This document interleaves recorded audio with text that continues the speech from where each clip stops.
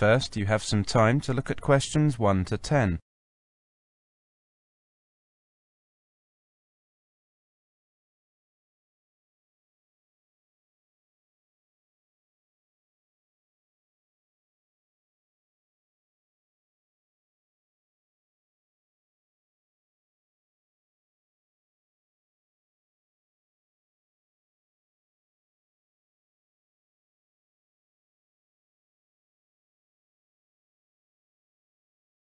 Hi, Lisa. How are you? You look a little puzzled.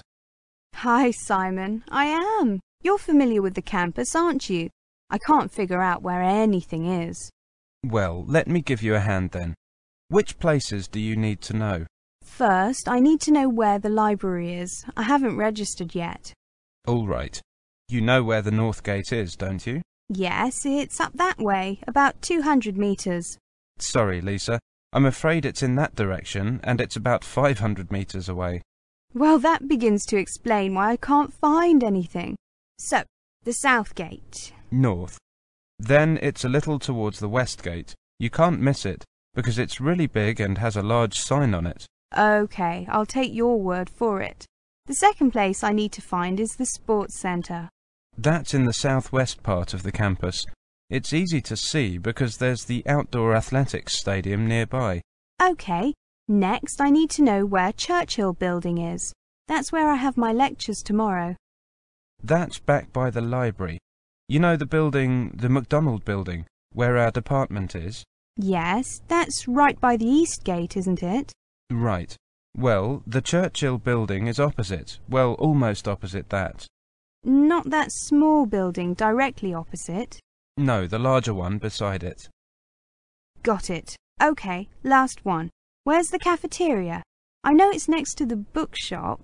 And can you see the bookshop? Well, hang on. It's right there, here in the centre of the campus. A great central location, if you ask me. What time is the library open?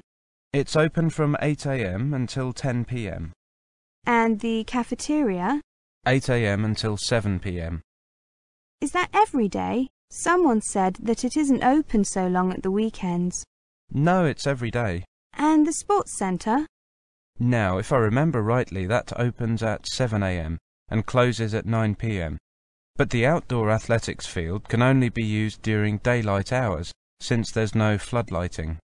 You play sports, don't you, Simon? I do. I've signed up for the football team trials this coming weekend, and I was on the athletics team at school. When are the trials? I don't play football, but I enjoy watching. They're on Saturday, starting at 10am. The organisers said that we should expect to be there until mid-afternoon, probably until around 3. Well, I've got things to do in the morning, but I'll come along after lunch. I hope you survive until then. So do I. I think that in the morning they'll be aiming to sort out the people with ability from the no-hopers. Then, in the afternoon, they'll be sorting out who's the best. That is the end of section 1. Now turn to section 2. First you have some time to look at questions 11 to 20.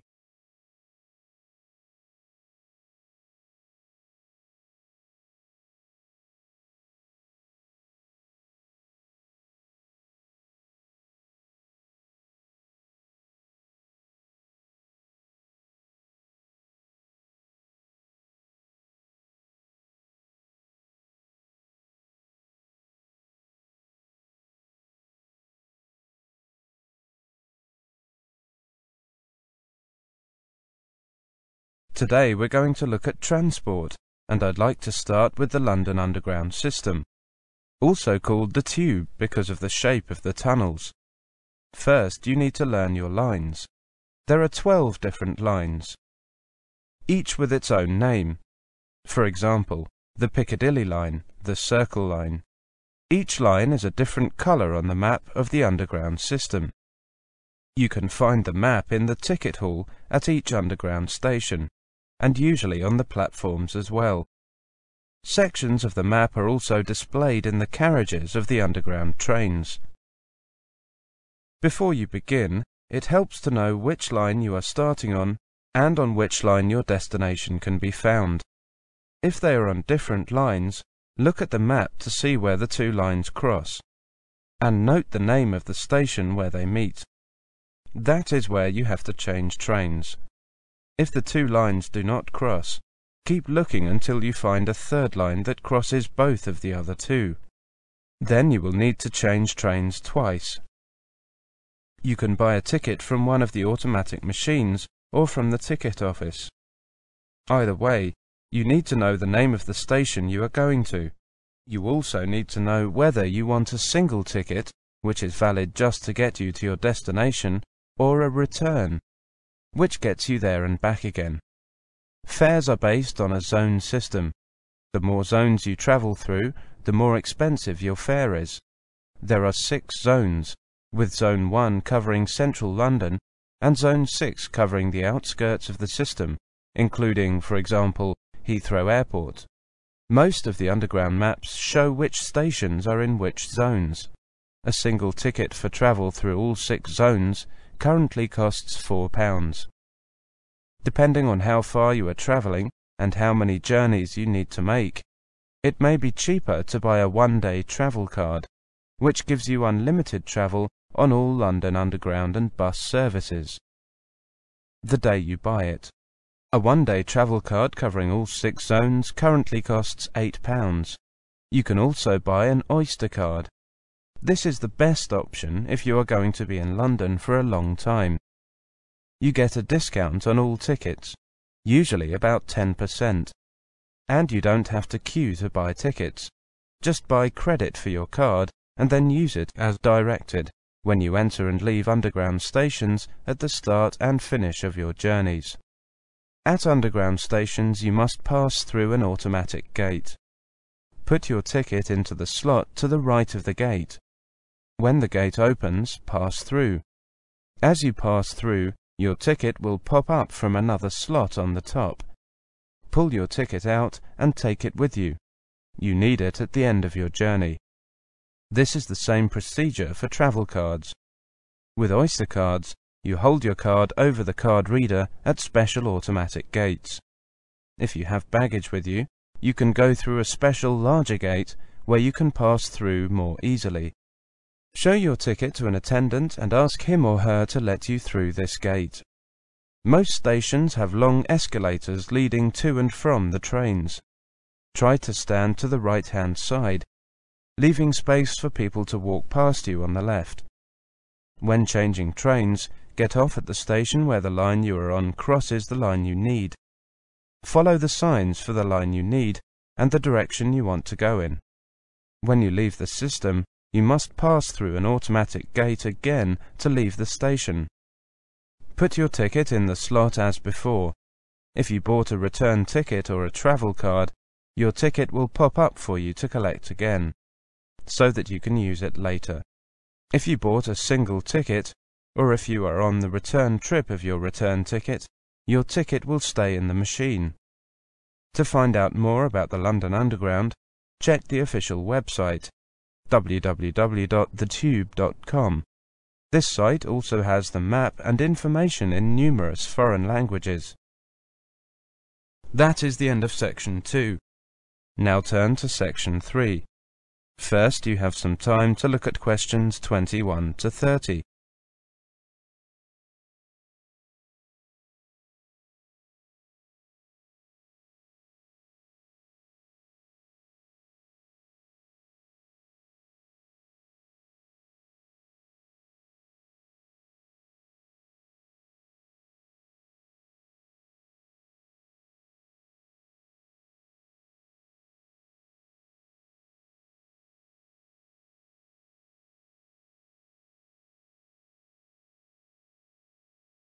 Good afternoon. How can I help you? Good afternoon. My name is Helena Schwartz. I have an appointment at three. Now, what can I do for you? Well, I need some advice about my studies. I'm a foreign student from Germany, and, well, I heard that this is the place to come. It certainly is. So, what kind of problems are you having? Well, my first problem is the workload. That's a common problem even with British students. It seems to me that the biggest difference between university and secondary school is that university students have to do a lot of work on their own, and it's sometimes useful to get advice on how to take control of your time and work effectively. You're right. The obvious thing to do is to make a schedule and stick to it. Bear in mind that there is enough time to do the work and enough time for extracurricular activities. You mean that I shouldn't overload myself? Right. But moreover, be careful to spread your work out over the weeks and months. Don't do anything for a while, then get worried because you have little time to get assignments finished. Yes, that's clear. We get a lot of students coming to us with that problem, so we've produced a leaflet about it. You should have received one during orientation, but sometimes, well, here you are. Thank you. I'll read it carefully later. Okay, and feel free to come back if you have any questions about it. Okay. My second problem is with research. Are you going to complain that the library isn't open at the weekends? How did you guess? We get so many students complaining about that. We're trying to get that changed, but, well, to be honest, the library staff already work long shifts, and unless we can get extra staff, the library has to remain closed at the weekends. I understand, but... I know. It makes organising your time even more important. Make sure that you get all the books you need from the library before the weekend. Then devote some of your weekend time to making notes from the books at the weekend. The problem is that I'm easily distracted when I'm working at home rather than in the library. Well, an alternative strategy is to work longer hours during the week, when the library is open, and do no work at all at the weekends. Sometimes it's very useful to forget about studies for a day or two each week. Yes, that might be better for me. I can concentrate on my work in the library and then leave the weekends free. Also, I have some problems with my essay assignments. Could you have a look at these and tell me what you think? Certainly. Ah, I see. Well, even if you plan your writing carefully, this can come to nothing if the assignment doesn't actually answer the question. That really is the most important thing to remember. You must read the question extremely carefully and give it a great deal of thought before you even start planning or writing your first draft. It's also essential to check your work for errors. Everybody makes them, and they can influence the professor marking the work. So always take time at the end to check what you have written. Many overseas students ask a British student to check their work for them.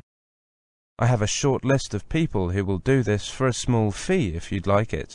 That's okay. I have several British friends. I'm sure I can bribe them to check my grammar and spelling.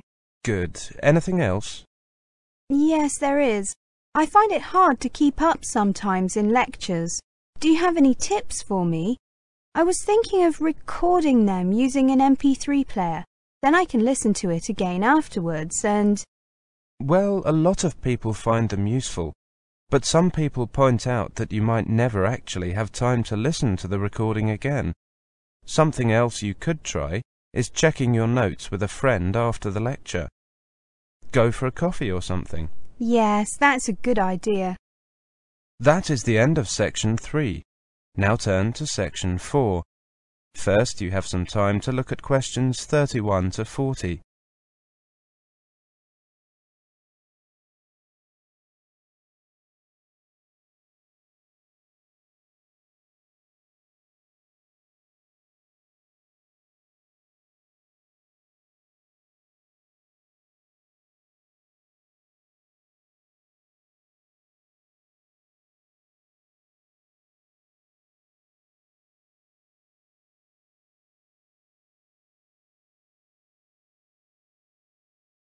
Good morning, everybody. I'm Jane Winter, and I'm here to tell you a little about the possibility of volunteer work in Africa.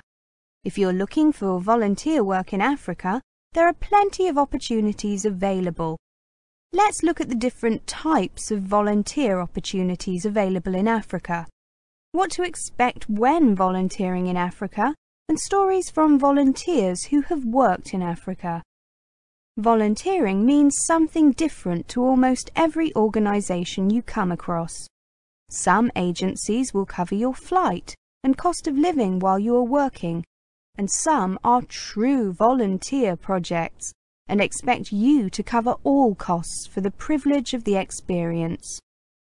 If you're looking for a more meaningful way to spend a few months in Africa than simply travelling around, volunteering is a wonderful way to spend your time. Most jobs that last less than a year or so are going to be the ones you have to pay for. Jobs that require a commitment of more than a year will often offer a basic stipend to cover some of your costs. Whether you get paid and how much you get paid will also depend on your skills and how much they're in demand. Most paid volunteer opportunities in Africa are available to those who have a university education and or a practical skill. Engineers, doctors, nurses, environmentalists, emergency relief personnel, and teachers are among the most asked for by volunteer agencies. If an organization doesn't require you to have specific skills, then you will usually have to pay your own expenses as a volunteer. In general, most organizations working in Africa try and recruit as many local people as possible rather than foreigners, since the project should continue long after you have returned home. So don't take it personally if your intention to help people in Africa is rejected. It may just be that a local person is better suited to the job. What should you expect when you volunteer to work in Africa? Conditions are usually basic. Most volunteer opportunities take place in rural areas, where you may not have ready access to running water and electricity. Housing can be very basic, and you will likely be staying with local families. A word about cultural adaptability. As in most countries in the world, rural communities are usually more traditional than urban centres. As you will be working closely with the local population, you will have to dress and behave in accordance with what is acceptable locally. General pace of life and work is much slower than in the West. Don't expect any organisation to run efficiently and without glitches. Getting sick can be a problem, if you're spending more than just a few weeks in Africa, especially sub-Saharan Africa, your chances of getting malaria or bilharzia will also increase. Make sure you take all the medicine and precautions you need. The organizations you work with should brief you about health issues, and don't forget that local nurses and doctors will have plenty of experience with these common afflictions probably more than your doctor at home. Initially, you may also have some problems getting used to different food and water. Anyone who has volunteered in Africa will probably tell you that the biggest impact their project had was not on the community but on themselves. Spending time immersed in another culture will change the way you look at life and is part of the appeal of volunteering. Before you decide to volunteer in Africa, you may be interested to learn what the typical experiences are of people already in the field. Later, we'll look at a selection of volunteer stories and experiences from Africa. There are many volunteers and travellers who keep online diaries of their experiences. These contain some excellent tips about working, travelling and living in Africa. Before that, just a quick word about work permits in Africa. Many people who travel around Africa may wish to stay and work. But just as in Europe or the US, every African country will require you to get an official work permit. In most cases, these laws exist to stop foreigners getting jobs that local people may be qualified for. Unemployment is bad enough throughout Africa, so don't take a job that a local person could do. That is the end of section 4. You now have half a minute to check your answers. That is the end of the listening test. In the IELTS test, you would now have 10 minutes to transfer your answers to the listening answer sheet.